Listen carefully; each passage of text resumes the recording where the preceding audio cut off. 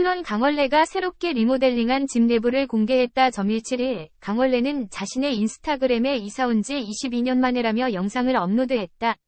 영상에는 강원래, 김송 부부가 살고 있는 한강뷰 아파트가 담겼다.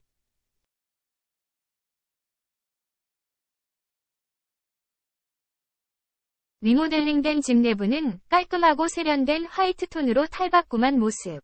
특히 리모델링 후 더욱 넓어고 화사해 보이는 집안 풍경이 감탄을 자아낸다. 이에 강원래는 분양 평수 79평, 도배 플러스 장판 플러스 조명 플러스 부엌 교체, 냉장고,